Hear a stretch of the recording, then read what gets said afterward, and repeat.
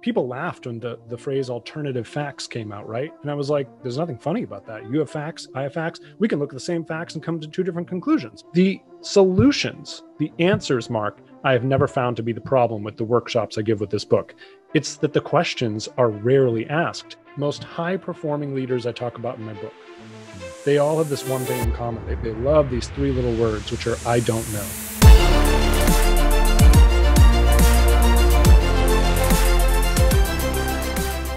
Today's guest is a serial entrepreneur, a speaker, and the author of this book right here, Honest to Greatness. Now, if you've ever felt like you have to dance around the truth to save someone else's feelings, or when you are being honest and open with people, they seem to freak out at what you're saying. Or maybe if you're like me and you just feel like you're not 100% honest with yourself all the time, then this episode is for you. Because I talk about all that and a whole lot more with this week's guest, Peter Kozodoy. Welcome to the We Do Hard Things podcast. In business and in life, how do you dominate your competitors? How do you achieve wild profitability? And I am as surprised as anyone, Mark, to learn that honesty is the strategy to achieve outcomes in the 21st century. So, how does one go about being as honest and um, and and respectful as possible, knowing that most people are not actually comfortable with receiving that kind of feedback. You hit the nail on the head. The issue is the element of surprise, is catching people off guard. That's where you lose people, right? There's a, you know, one of the CEOs in my book makes a great point. He says if you're flying in an airplane and the pilots come over the intercom and they say, Well, folks, we've never seen storm clouds like that before. So please put your seatbelts on. Not quite sure if we're going to land this plane, but we're going to try our hardest. Um, you know, is it honest? Yeah, maybe. But is it helpful? No. Right. Honesty is only as good as the trust that it creates. That's the purpose here. Right. So if you think about giving someone direct feedback that offends their ego, that puts their wall up, that puts them on the defensive, not helpful right? In the same sort of way. And so you know i stratify honesty into three different layers in the book into a framework i call the hourglass of honesty. It's sort of how to turn this into strategy in your life and business. And in the middle layer is getting honest with and about the others around us. Now the wisdom in this mark is is understanding what does getting honest with versus about others mean and, and when do you use one or the other right? Sometimes you need to level with people. You need to say hey I messed up. I'm sorry. I'm going to do better. Here's exactly what I'm doing to fix this, et cetera, et cetera. And what do we do? We, we as human beings love that, right? Oh, thank you, right? We, we appreciate that. It's refreshingly honest, right? Other times we need to be honest about others, about their self limiting beliefs, their ego, their biases, their doubts and fears and hopes, right? And this is where sort of deep empathy comes into play. Uh, this is why you probably don't want to go out and say, hey, you know, the world's on fire and everyone's going to die and cause panic, right? Probably not, again, not helpful, doesn't inspire trust. So, one of the things that I encourage my clients to do and then, you know, folks in my workshops is direct feedback is wonderful. Uninvited direct feedback is the problem. That's the enemy. And every time, Mark, I say, you know, I, oh, gosh, I have a reaction to this, but I don't want to share it because I don't want to offend you and then you'll hate me. What do people say 100% of the time? No, no, no. I can, I can take it. Yeah, tell me, tell me, right? They have psychologically lowered their wall on their own to allow me to be direct and honest about it. Works like a charm. Problem is we don't ask, we don't get permission. That's an example of being honest about the others. Another quick thing, you know, I'll tell you tactically is you will never hear me say you should, right? I have banned those words from my vocabulary. And the reason is if you ask me for advice, I don't know what you should do. I'm not in your head. I don't know all the million variables that are going on in your life and business. Who am I to tell you what you should do? And yet, at the next COVID friendly party you go to, listen and look around for some idiot telling someone else, you should do this and you should do that. And watch the body language of the person receiving that. They're shrinking, they're coming back, they're shutting down. This is just psych 101 right? There's all kinds of reasons why people fail to face truths. One i mean the, the the the, harder the truth is the more you have to take ownership over past decisions you made over areas that you're not maybe living up uh, your own shortcomings your own failures. I mean is that the ultimate reason why people tend to gloss over these things or are there other reasons that people politely lie to everyone all the time well it's you know what we have to ask ourselves what's the antithesis of honesty right? And it, it is uh, it's ego it's bias um, it's self-limiting belief it's assumptions that simply aren't true. Um, you know i'll skip ahead to the the tactical piece of all this and, and give you you know a question that can literally instantly change your life and business which is you know two questions. One is that true? And two how do i know mm-hmm. and this applies to you know, whether it's a headline in the news or your great aunt millie's facebook post or a thought you have in your head just stop and ask is that true and how do i know because let me tell you mark you know i've worked now with hundreds of entrepreneurs helping them build their own million dollar company and i will tell you 99% of business problems are personal problems in disguise. They are some fundamental untruth that an entrepreneur has told themselves that's just not true. It's just like, and they're operating from that basis, right? So, mm-hmm. how, da- like, we wonder how we end up like the Leaning Tower of Pisa. The, the foundation is fundamentally incorrect. And that's why it's so critical that we that you know and that's what I'm, why i'm so proud of this book honestly yeah. mark like I, this I is it. fundamental stuff if we get the fundamental stuff wrong then we're never going to get to where we're trying to go. I love it. I, I um, am often taking people through brand strategy, um, perhaps similar to you. And one of the questions that I love to ask, so I always I always try to get uh, um, clarity from someone as to whether they're over indexing, how how good they are, or if they're actually under indexing. And I find for entrepreneurs, they're typically over indexing, and for people who work in corporate environments, they're often under indexing. Just how magical this could really be if they if they just were more bold. Um, so one of the questions I always ask is, are we as good as we think? Like, I know you think you're good, but are we actually as good as you think they are? And I typically get a response with it just like, well, listen, you know, like, are we perfect? No, we're not perfect, but you know, we're pretty darn this and we're pretty darn that. And we did it. And they just, they just skate around hey, you know, like you think you're great, but your operations suck, your delivery sucks, um, your customer service is terrible. Uh, there, people don't understand what you're saying. There's no clarity of message. There's no proper value prop. The pricing is off. Like, like endless ways that people ignore these things in business. Yeah. And so when you start to focus this, like, you know, is it true, and how do we know it's true? How do you or the people that you're that are reading this book, how do they not got, get lost in the spiral of this? I hope they do. That's the idea, is for them to question everything, right?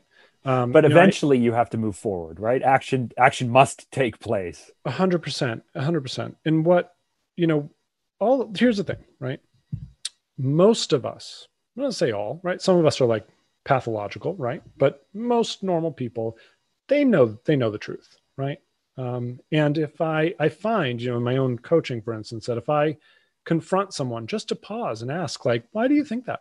Or if that belief were wrong, how might it be wrong? And, and why do you think you would have gotten there? And, and just having that, you know, alternative look at it usually is enough to dislodge them. This stuff is not difficult. The, the solutions, the answers, Mark, I have never found to be the problem with the workshops I give with this book. It's that the questions are rarely asked mm. because we get stuck in our lies. Like you ask about stuck, you know, stuck, right? Or or getting in the vortex. We're all in the vortex. You know, these things are designed to dislodge and kick you out. I've never had someone be like, "Well, now that I know exactly what I want, how do I get there?" That's ne- like I've never had that. It's it's mostly, "Oh, that's what I want." Mm. Oh, but do you not find that people aren't you know now that the path is clear in front of them and and they know the steps that they have to take they don't want it bad enough they don't take the steps they blame something else i mean is that not 100% but but that's but that's back to the you know it i get this like i don't know what i really want that's not true.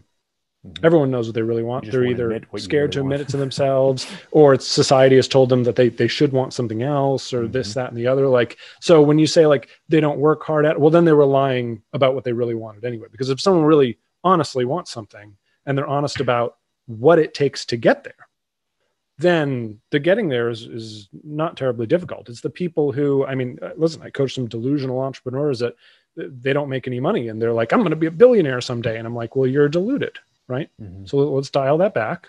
let's like, how do we make, uh, you know, a hundred thousand dollars a year? Let's start there. Right. Right. Um, and, and so there's this sort of thing that, that people get way out in front of their skis. That's not honest either. Um, and and again, what does that come back to? Bias, ego, et cetera, et cetera. So one one thing that I had to work on, um, and and still have to work on, but so I was told when I was a teenager and even into my twenties that I was really black and white and really direct, hmm. and being so direct, uh, you know, with people, they found it intimidating. They um, you know, I've learned this over the years when you just get these random comments like, "Oh, I was really intimidated by you when I first met you," and I was like, "Really? Why? I'm, I'm, the most approachable guy in the world." Um, but but it, so so I I picked up along this way all of these bad habits to couch comments, to hedge comments, to add all of this context, to explain everything as to blah blah blah, and it made sense to me. But but in all of the hedging, there was a lack of clarity. And people didn't really, you know, I thought they understood what I was saying reading between the lines, but they didn't and then I would eventually have to be brutally honest with them or surprise them or catch them off guard anyway. Uh, so, so I always kind of have named myself now the mayor of Hedge City, and so for the last three years, I've been really working with people like in my life. I have to say, Mark, that's a hedge, right? Like, like you're being polite. Why don't you just tell me what you really think? Um, but now, I'm more likely to make people cry. I'm more likely to make people feel bad. I'm more likely to do all of these things dude, I I am resonating with you right now. I, I told you earlier, right? Mo- most likely to continue being that was me. People tell me I'm intimidating. I'm five foot seven. I was a former figure skater, for God's sake. I mean, come on, intimidating, but I do. You know, th- right. this is apparently who I am, and so that's you know up to me to listen and, and to accept that. It took me a lot of years of saying, "What are you talking about? Like I'm as friendly as ever." That, by the way, was a lie. Apparently, right? Doesn't matter what I think. That's my ego talking. Matters what people around me are thinking, mm. and that again is part of being honest. Yeah, you've touched on on my team. I found, gosh, maybe maybe maybe eight, nine years ago, I found we kept bumping into the same things, and so I developed five questions I wanted my team to ask myself. But one of them, and, and it's a playoff PR, but it's that perception is truth. It's just it's just a principle. Perception is truth.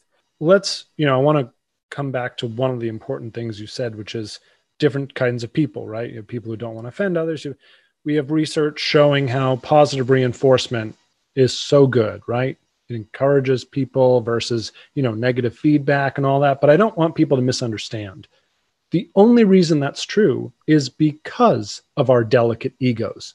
Let's remember that when we can't be direct with one another we lose right? We lose time we lose the opportunity to really actually understand you know where, where we are and that is a loss. I want people to understand that. And there are cultures out there like Bridgewater Associates, right, largest hedge fund in the world, that have recognized this and built a culture of saying, no, like it's up to we have the personal responsibility to let our ego go.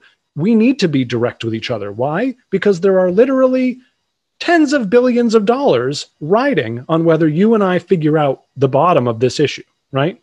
Not how we feel about it and all this other crap. So, you know, what I'm hoping with this book Mark is is two things. One, that I can help people get brutally honest about how big the egos are on the other side of the table, right? And how do we d- take the tactics that I shared earlier and soften ourselves to the point where we are getting our point across and achieving outcomes together. And also, I want everyone to realize how much of an egotistical, narcissistic person they are and and and let that go. Because you know listen i was raised on the sticks and stones may break my bones but words can never hurt me right? That's really helpful when we start talking about truth being honest with one another getting to the bottom of issues agreeing on an objective reality or as close as we can get to it. We live in a world now where where word every word is parsed and every word is offensive and i would argue that that's not helping anyone right? Not helping our society. We have a bunch of people who have actually raised their level of ego and it it is now we all have your living your truth right? We have mm-hmm. 7 billion people each living their truth. Mm-hmm. somebody tell me how that's sustainable right? It, eventually that is not going to to work. So you know these are all the big and you know that's one of the the categories i talk about with honesty is being honest with and about the community right? All these movements happening. And you know i'm telling you sort of how i'm seeing them and how i feel about them what I'm asking people to do, and, and I'm doing this because we're on a podcast, right? But ordinarily, i am pretty strict about like we have to accept these things, right? I don't know where I picked this up, but I heard someone, maybe it was in a movie, maybe it was in TV. I don't remember where it was. Oh, gosh, let me get the quote right. It was something like, "There's no, um, there's no bad facts, or um, you know, like there's there's nothing there's nothing evil with truth. Like it's just like all truth is good truth. All facts are good facts. It was something along those lines. And that always stuck with me because I want to be the person who's accepting of that. And the more I come to empathize and understand and learn, the more progressive I become, the more open uh, we are to others and everything else. But culture aside, you know, U.S. culture aside, uh, European, wherever you might be, how how do we get more people to be open to the facts of the facts? You know, well, so you know, let's talk big, and then we'll go micro, right? I we're all seeing, and by we I mean I mean everyone, but I, I think especially young people are seeing what's happened, how fractured the truth has become. You know, all, people laughed when the, the phrase alternative facts came out, right? And I was like, there's nothing funny about that. You have facts, I have facts. We can look at the same facts and come to two, two different conclusions. We can mm-hmm. feel differently about the same facts, right? Like all of this gray area exists. And I don't know that our society has until now grappled with all the gray area there is among this idea of truth. Uh, I actually read a super interesting article in Wired or I don't know, one of those like magazines that make me sound like a total dork, but it was about how even math, which people, you know, usually say is the truth of the capital T, right, is a construct of humanity and you know so on and so forth. So it's subject to different errors. I thought that was fascinating. Um, so you know, when I talk about getting to an objective truth, I also say as close as possible, right? Which is how, by the way, again, outcomes. The leaders and organizations in my book end up dominating their industries because they come to this common understanding, which is I think something that we're not seeing in society, societies, um, you know, particularly here in America now, you mentioned the election. I think we're seeing how dangerous it is. And I think we will naturally say, like, okay, well, that's a mess, right? Let's maybe try to move away from that and, and return to truth. And that's the whole premise of the book on a macro scale is that, you know, it's funny. People say to me, like, Peter, what are you talking about? I mean, since since 2008 it's been scandal after scandal and jeffrey epstein and trump and like all this stuff. And i'm like yeah you're proving my point which is that 50 years ago we wouldn't have known any of that right? It would have just stayed in the dark. But it would have still happened. Exactly right? We live in the 21st century. What's what's different here is that there is no there's a dwindling information asymmetry right? Which is this idea that you had information that i didn't have and therefore you had the power now everybody's got a smartphone, everything's being recorded. It's such a transparent world and getting more transparent. The whole premise of the book is that it, it's no longer going to pay to do anything but be honest and transparent. So that's on the macro scale, right? Now the question is, what do you do on the micro scale? You asked about friends and family, right? Let me let me put this to you, Mark. Have you ever seen the following scenario where uh, someone takes issue with someone else, and, and that person says, "I can't believe that you think this way, that you feel this way. Everything you're saying and thinking is wrong and you need to change. And have that person go like, "Oh my god. You're so right. I can't believe I was such an idiot. And all this time I was thinking this and really I should have been that. Thank you so much for illuminating that for me." That has never happened in the history of humanity. Am I right? Mm-hmm. So, you know, so then the question is, well, how do we encourage change? There was a wonderful story that I heard. Uh, I, I can't remember where, it just it like struck me to the core. It was a, a, a white guy and a black guy. They were neighbors. And the white guy was like a clear racist okay? Like admitted this. And uh, they had you know a terrible relationship obviously until uh, the the white gentleman landed in the hospital. And after a couple days you know he, he, he kind of come, came to his senses enough to realize that there was someone else in the room and that other person was his black gentleman neighbor hmm. stuck in the same hotel, uh, hospital room together. And so, you know, on the first day, they didn't speak a word to each other, right? And second day, not a word to each other. Third day, fourth day. Finally, a week goes by, and nurse comes in, opens the curtain for the morning, delivers breakfast, and the, the white guy looks over and he sort of gives the, you know, his neighbor a little nod, right? Fine. This goes on for a couple weeks. Then eventually, uh, you know, the, the black guy gets uh, his, you know, pudding, realizes that white guy didn't get his, says, hey, you know, why don't you take this? I know you love it. It's favorite part of your meal. Do you want it? Says, yeah, okay, sure. Takes the pudding. And over the course of several weeks, they actually develop a relationship. And this white guy comes out, denounces every racist group he's ever been in and completely changes his ways, flips sides, and realizes that he needs to help this problem, right? not be part of the problem. Now, how does that happen? It doesn't happen by the endless people that went by this guy's house and said, How can you be such a horrible human being? How can you be so racist? You need to change. It doesn't work that way, right? Instead, they needed to realize that they were both human beings, right? This racist white guy needed to understand that his neighbor was a human, right? And have a human connection. This is what's missing from all of the disagreements we're having. For some reason, and this and this is something I teach in my workshops. Like when someone disagrees with you, just shut up and listen to them, and then ask them, "Tell me more about that viewpoint. What are you watching? What are you looking at? What kind of data are you seeing? What's your life experience that's helped you form that view? Help me understand." Can you imagine how different of a world we would have if we took that open-minded, much more honest approach to, you know, getting to the bottom of our humanity? It's not difficult, right? It just takes what? A lack of ego, which is a lot of what comprises this whole idea of of being brutally honest, not only with others but but with ourselves. Mark, I mean, what do you think of that? Well, it remind I, I I think that's totally true. I mean, the two thoughts that come to mind is one, boy, that seems like a lot of work for someone that you don't respect or like. so so I think most people would rather just you know it's the person who gives you the finger and this and that because it's just like they just don't even care enough about the person. Uh, so I, I hope that with our friends and family we'd be able to overcome that. But the other thing it reminds me of is uh, you know I've, I've been with my wife for 20 years now. We met she was 16 i was 17 we started dating in high school. We've been married for 15 i think i'm pretty good at being married and i think i can give really great marriage advice. And up until about five years ago and uh, i've been running my business for 14 years i built a multi-million dollar company I think I can give, I, I used to think I could give really great business advice. You talked about this, right? Not giving advice, but giving life experience. Mm-hmm. And then it hit me where most of my advice was like, oh, I'm really good at being, you know, being married to my wife. And oh, I'm really good at running my business the way that I found success in my market with my team doing my thing.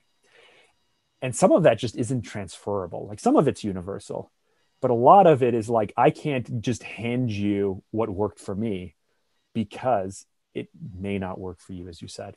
100%. Yeah. And, you know, I think the one of the big key words here is curiosity. You know, the, the most high performing leaders I talk about in my book, mm. they all have this one thing in common. They, they love these three little words, which are, I don't know. They love it. You know, they're just like, I have no idea. I'm an hmm. idiot. I mean, literally, this is the place that these people operate from. Warren Buffett, the uh, head of Quicken Loans, and the Ritz Carlton, and Domino's Pizza, and they all share the same thing, which is we have no idea. But gosh, we love learning, right? Love learning how we're lo- wrong. Love learning what what you know is changing out there. That's the secret. It's just being honest enough to know that we don't know, mm. right? It, it's I don't know. I don't agree with you. I think it's simple and easy. And you know, think, I'm not think, saying it's not simple and easy. I'm saying that in my experience, uh, listen, I lost 50 pounds in two years. Nobody wants to hear the story because everybody on the podcast has heard it before. well, Everything that I did was simple and easy, though.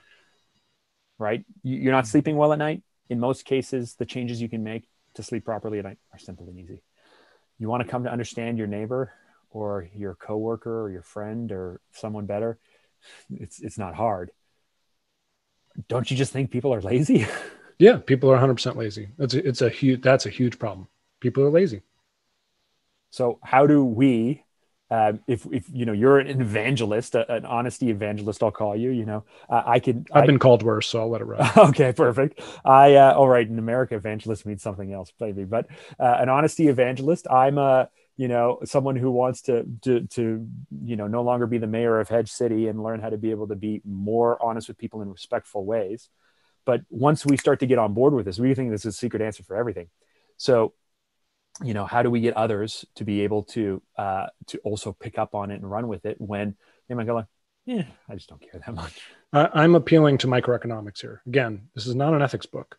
This is a how do i achieve outcomes in my life or business book. And I'm not in the business of motivating people to achieve outcomes for themselves that they don't want to work hard for, right? Hmm. So you know, you know, I'm I'm an entrepreneur. Either want it, pick the book up, read it, and implement it, or, or, don't. I can't help okay, you.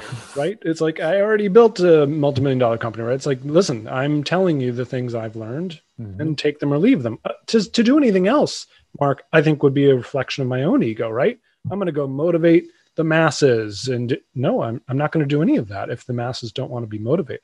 Mm-hmm. I'm looking for people who look around and think to themselves, well, do I have the life that I want? No okay, well, maybe I'm not being honest about who I really am, not being honest about what I really want, not being honest about what it's going to take to get there, and so on and so forth. This stuff is not rocket science. It's like I said, I've been shocked to see that the questions are rarely even asked at that deep of a level.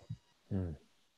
So, what does motivate you then? Like, you know, you, you're, you're four years post journey of the transition point for 30, 18 months of crazy, crazy progress. You're now, you know, the book is out uh, you know you're speaking a lot it's a wild ride but so what is it that's that's motivating you right now yeah you know you're catching me at a very interesting time to ask that question because uh, it took about four years to go from start to finish of my entire like big af goals that i set for myself at 30 one of them being the book right mm-hmm. and there were tons of others and so, literally, like four years, almost exactly. it was like, okay, well, cross the last thing off the list. Um, now, what the hell do I do? Right.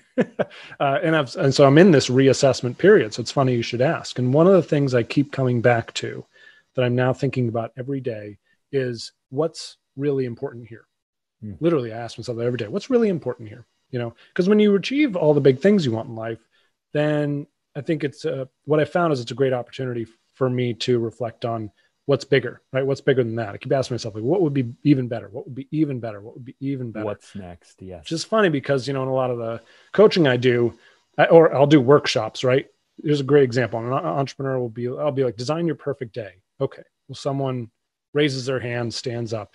Peter, I'll tell you, my perfect way to work would be I work four hours a day, five days a week. Man, that would be so good. You know, right now I'm working 12 hours a day, six days a week, and I just want four hours a day, five days a week. I'm like, oh wow, that's a great goal. Like, holy, that is awesome. Hey, uh, you know, just have a question for you. Why don't you want to work one hour a day, one day a week?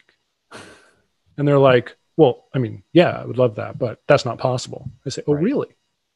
Oh, really? Who told you that? Right? Is that true? How do you know? Um, so, you know, I'm in that phase of thinking to myself, you know, I want to spin up another business. My business partner and I are looking for a great SaaS idea right now, right? Um, to build off of our agency.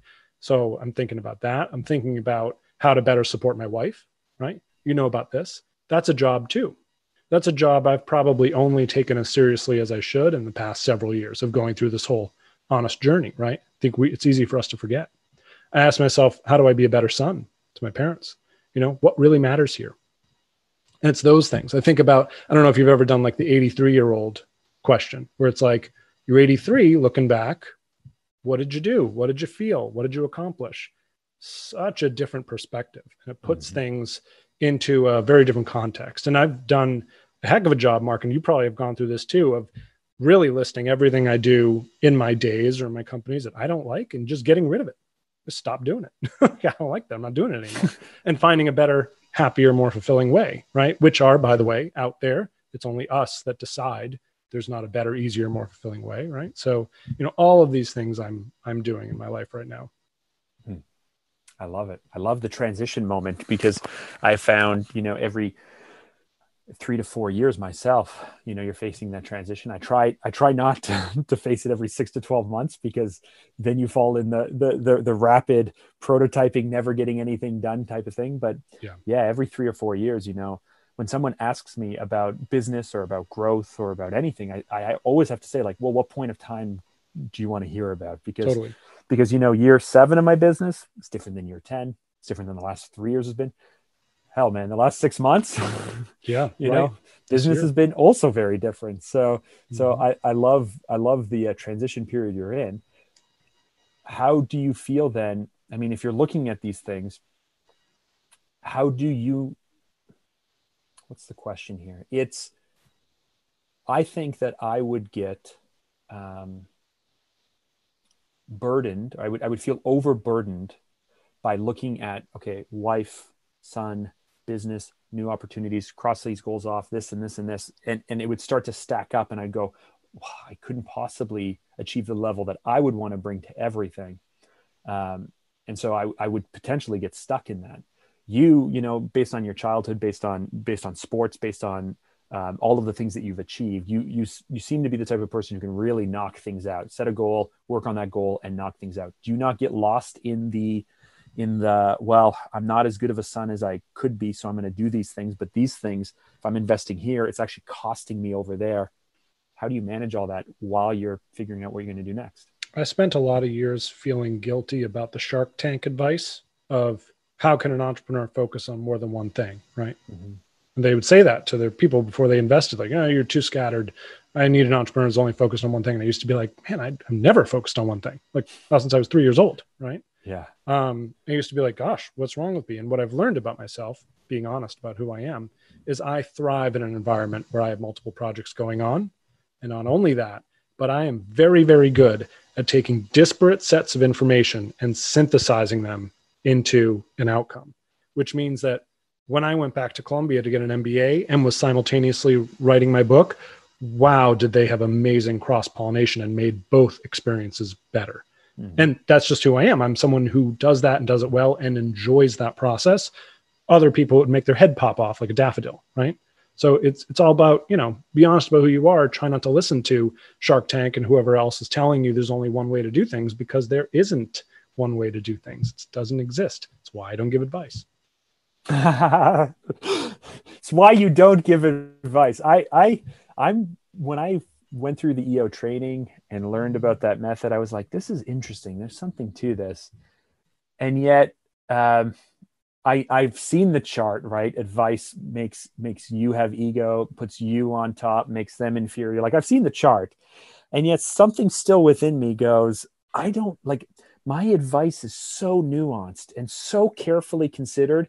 And I give typically three options and then make a reco for the one that I think might be best, but I give them options um, surely I'm so good at this that I I trust myself more than me telling them a story and them coming to their own conclusion. Do you not bump into that, or did I just not learn that method properly? I mean, listen, you could actually be the best advice giver of all. There could be a couple not, things but... that are true, right? A, you may genuinely be someone who can't stop yourself, right? In which case, okay, fine, it's part of who you are. B, maybe you do have a methodology to do this in a way that people respond to and appreciate and so on and so forth um, i've just what i've learned about people mark and this is only through coaching hundreds of entrepreneurs that have figured this out is people are on their own journey at their own pace mm. and there are people who ask for the answer and want the answer and there are people who ask for the answer and they already know the answer and i've tried to get very very wise about which it is. And so when someone asks me for advice, one of the first questions I'll say is, what do you really, what do you really mean? Or what do you think the answer is? And if they give me the answer, I'll be like, oh, you know what? You're right. Do that. Because they're going to do that no matter what I say. Right. they're looking for validation of what they already think. Yes. This is like you talk about, we talked about next level stuff, right? This is the next level of thinking in your interactions. Okay. Others are like, no, really, I have no idea what to do. And I'll say, okay, well, what are the odds if I told you to, you know, the answer to your problems is to go jump off a bridge? You know, what are the odds you're actually going to listen to the advice I have to give? And they'll be like, oh, I don't know. I have to weigh it and I'm not sure. That's telling me they're afraid and hmm. unsure and they're in the information gathering phase. I'm going to go story, right? But if they say, Peter, literally, I will do anything you say because I know you've done it. I've decided I trust you. I've talked to other people you've worked with and I know this works. So I'm looking for a path okay, great. If I were you, I would do this, this, this, this. Here's why I would do this. Here are the checkpoints that I would look for. And that is what I would do. I'm not saying that's what mm. you should do. That is what I would do if I were in your shoes. I love that. So I have that system, right? And I, I love what it. I what I want, right? Don't adopt my system. I mean, you can steal it. I won't go after you if you want, but have your own system. Don't just react. You know, that's not honest to be like, oh, this person wants my advice. Whoa, look at me. Here's my peacock feathers. I'm gonna tell don't please don't do that people you know mm-hmm. hmm. do you think people have more trouble being honest with themselves or honest with others i think people have tremendous trouble being honest with themselves and therefore they have trouble being honest about others mm. everyone gets the honest with other people they just typically struggle with it they don't want to be offensive mm-hmm. you know, et cetera, et cetera. They don't want to lose a friend, uh, whatever it is. Um, but the it, because they're not honest about themselves and their own psychology, they fail to get honest about about others. Um, mm. And they're judging themselves, so they're judging others. They're misunderstanding themselves, so they're misunderstanding others. And that's a really dangerous um, reflection zone that that I hope the book dislodges people from and makes them more thoughtful. Give them a rubric to ask more thoughtful questions. Hey, tell me more about that. You know, try to get out of some of the habits that make for that really nasty feedback loop. Hmm. And and the reason I ask that is because, you know, per, perhaps you can identify with this. You know, I started my company so early and so young, and I knew what I wanted at the time more than anything. Was I wanted to build something bigger than myself. I knew that I had a lot of limitations, and every time I hired someone amazing, it was like I was I was throwing money at unlocking this brand new potential right? It's like i could and then i realized oh i could i could hire up experience. I could hire like i could just literally hire these these these gaps that to me were weaknesses but that i could hire them up. And it was just really really exciting. But i built a company and i built a system with without the care that i probably should have just because i didn't know. And i found myself one day with this thing that may, that that forced me to be someone that I was not. And now I've spent the last few years trying to untangle that um, and restructure and make changes or whatnot.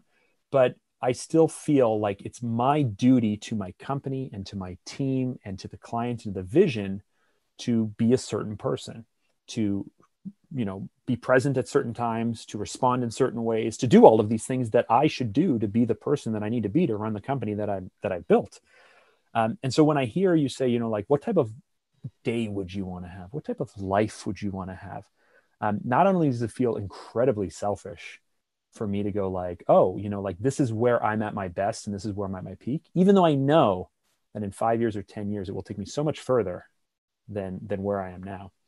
Um, it's still that, that getting honest with myself I don't know if it's a problem, but then it's what do we do with that honesty? Because now I need to go out to the people. I need to go, I need to restructure things. I need to make hard decisions. I need to do all of these things now that I've been honest with myself to build the business, to build the life, to build all of those things. Um, that's why I was asking a little bit earlier about the actions. So let's talk about that. Yeah, because because I'm here right now, and I've been here for for a few years as I detangled myself from the thing that I built. Yep. Okay. So I want to go back to a, a, comment I heard you say about being selfish, right? Because it's a hmm. really interesting point and viewpoint.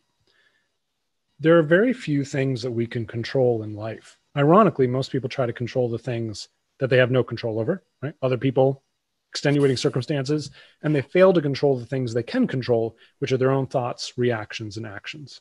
Isn't that weird? Right. Mm-hmm. And so, if you ask me, is it selfish? No, I think what's selfish is not controlling the things that you have a responsibility to control and trying to control things you have no control over. That is not only selfish, but I but I would classify as dishonest, right? I mean, listen, similar, Mark, right? We, we built a company that had offices in three states and two countries and tons of employees. And I used to walk in to my headquarters and I would like feel weird. I, I didn't like particularly want to say hi to anybody, and I'm like, I don't know, I just want to go to my desk and do my work. And I was like, driving, this is driving weird. after vacation, driving in the morning after vacation with a going like, oh, I don't know if I really want to show up.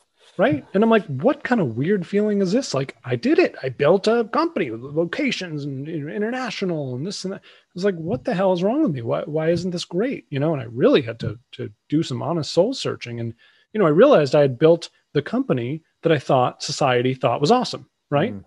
And I didn't even like it. Like I had to listen, I got pissed off last week because I had to put on pants. I'm not a pants kind of guy. I don't want to put on like COVID for me. This is fantastic. I'm like, oh, I get to work from home, not talk to anybody. Lemon shorts all day, every day, right? It's phenomenal. You know, I've got my favorite sweatpants. I wear them outside. You know, whatever. So you know, I I had to be honest with myself about okay, what did I build? What do I really want? And then came action time, right? And the you know luckily luckily i had mentors who had different structures for businesses and i really got to see it and they, they started to talk about like the holy grail right small team everything outsourced a lot more profitable less work for the owner and i was like but that doesn't make sense. But isn't big company the thing? And I really had to unlearn some of that. And then I had to really look into the culture and into the people, right? And ask myself, how are my feelings and outlooks interrupting this group of people that I have assembled underneath me, right? Mm. Because there were grumblings of people like, yeah, Peter, he's not social enough. Peter, he's not this and not that. And here's the thing, like, Mark, if that's really who I who I am, then I'm not going to change who I really honestly am, right? Which means I built something that's out of alignment with myself. It's just like a car, okay? If the car is out of alignment, it's not going to run well. Doesn't matter how many oil changes you get, it's just not going to run well, right? So it's up to us to put it back into alignment because either we as the owners are leaving or we're restructuring the company. And now I have a small team of people. They're incredible. We we're all on the same page. If they're listening, please don't leave because I love you all. Um, and I, I really built, you know, a company that that I'm proud of and that I love to work in.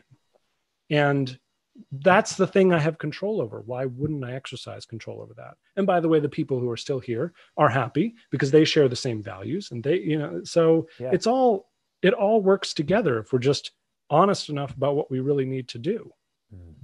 Are you an INTJ? Uh, EN, I think I'm an ESTJ. An ESTJ. Interesting. Okay. I was I was just curious because I'm not you know at one point I went down the Myers Briggs rabbit hole like most people did, mm-hmm. um, but uh, I was I was just curious because you know our stories seem very similar and yeah. um, I'm an INTP which is uh, which w- was funny because when I was looking up the different you know entrepreneur you know the the profiles who were most likely to be entrepreneurs i was actually last interesting least likely you know not not um, you know uh, not super good with people, not super understanding, somewhat impatient, you know, able to connect um, abstract thoughts together, move very, very quickly, don't want to take the time to explain anything. so when I heard grumblings from my team that you're not social enough, I thought, I thought this guy must be an introvert. I, well, I think I am like a closeted introvert, right? You know, what's interesting is I love making, I love doing keynotes you put a thousand people in the audience, I don't care because to me they're one blob and I'm just mm-hmm. talking to myself, right? Mm-hmm. But in a situation where I have like five or seven people, I'm like, I don't want to like, I'll, I'll just sit and listen, right? I love it. I love it. So the, the one thing I will ask is because you know your stuff better than I do, and I'm not egotistical enough to suggest that uh, that I do. What's the question that I should have asked that I didn't ask? Uh, Gosh, I love that question too. And I don't have a good answer for it. I mean, if I were you, you know, I'd want to know how do you deal with like blatant uncertainty, right? Mm. We're living in a time where we don't know like what's going to happen this winter to our entire planet, right? We have all these big things hanging over us like uh, global warming and like, you know all these big th- and again you know no matter where you stand on any of these issues it's like this is what's being talked about right?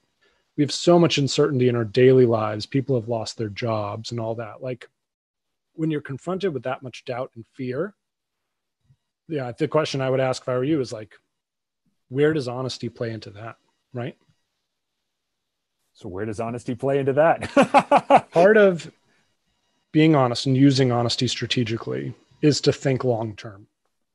Folks get into trouble when they're making decisions for their day, week, month, even one year ahead, and not making decisions for 25, 45, 65 years ahead. You know, we, we started talking about retirement, right? Now I started an IRA 22. It's like the first thing I did. Um, and I, you know i have to credit my parents. I think they were always long-term thinkers and probably encouraged me to do that um, because i you know aside from that i have no idea where i got it. And when we see folks who have this is the saddest thing right? We see folks who have ended up in a place that they didn't ask for and they're surpri- mm-hmm. genuinely surprised. Wow this isn't the way i thought my life was going to go mm-hmm. right? We've all met those people and it's heartbreaking to me right? And here's the thing the where we are today, right now, is a reflection of everything we've done in the past. Right? This our present is always backward looking, which means that the actions we take today and tomorrow and the next day will ripple and compound over time into the future. Be honest with yourself. Like, you're fine. You don't want to open that blog today. You'd rather play PlayStation. Okay. You'll excuse that as it's just one day, it's just one hour. But that's not true. That's not honest. You know, just like money compounds, time, energy, vision, all of that compounds over time. So try as hard as you can, you know, to look beyond COVID 19, to look beyond, you know, some of the issues going on right now and look 20 years in the future. Who, you know, who do you want to be then? And we can all track towards that person with our actions right now. Peter, thank you so much, man. I really do appreciate talking to you. My pleasure. Thanks for being honest. Oh, man. I just love, I mean, first of all, I feel like I have a lot of similarities with Peter. There's, there's a lot of things that I recognize in him, but how honest and tactical was that conversation? You know, Peter's story helps me really come to understand how to leverage brutal honesty and just get comfortable with it. So, of course, the key takeaways for me number one, when being honest with ourselves and with others, you just, you've got to ask the right questions so we can get to the honest answers. The right questions gives you honest answers, and then you can make progress. Number two, we must honestly adapt along our ever changing society. I mean, as we change, as we learn, as we grow as a society, we have to adapt or we're going to fall behind. And then number three, sometimes we think that we know everything. I fall I fall into this trap. But being honest involves recognizing that we don't know everything all the time. Of course, all of these tips and this help only helps you if you actually put it into practice. I want to remind you, switching gears a little bit, I would love it so much. Please go over to Apple Podcasts, rate and review this. It would help us out so much. If you're not subscribed, be sure to subscribe. And if you want to connect with me, reach out to me on IG directly, DM me, drop me a note. I would love to talk to you. Remember, those of us who have something to prove can show the world and ourselves that we have what it takes to actually make it happen. But to do so, you have to think big. You've got to be bold. And finally, you know what? You must say yes.